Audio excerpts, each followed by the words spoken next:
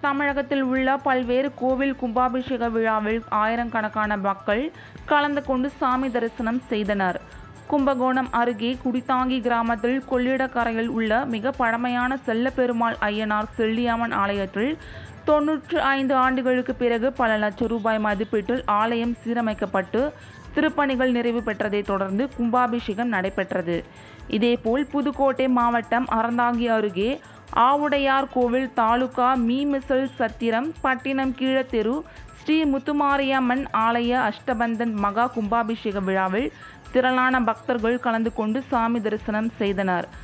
மயிலாடுதுறை மாவட்டம் தரங்கம்பாடி அருகே தில்லையாடியில் உள்ள அருள்மிகு ருக்மணி சமேத ராஜகோபால சுவாமி திருக்கோவிலில் கொட்டுமலையில் நடைபெற்ற கும்பாபிஷேக விழாவில் கோவிந்தா கோவிந்தா என்று கோஷமிட்டு நூற்றுக்கணக்கான பக்தர்கள் சாமி தரிசனம் செய்தனர். திருவாரூர் மாவட்டம் கூத்தாநல்லூர் அருகே உள்ள மேலே திருமதி குன்னம் சோழன்சேரி கிராமத்தில் அருள்பாலித்து வரும் அருள்மிகு பிரகன்யா நாயகி அம்மன் சமேத அருள்மிகு விருதாச்சலேஸ்வரர் மற்றும் ஸ்ரீ லட்சுமி நாராயணன் பெருமாள் ஆலய அஷ்டபந்தன் மகா கும்பாபிஷேகம் வெகு விமர்சையாக நடைபெற்றது. இதில் திரளான பக்தர்கள் கலந்து கொண்டு சாமி தரிசனம் செய்தனர்.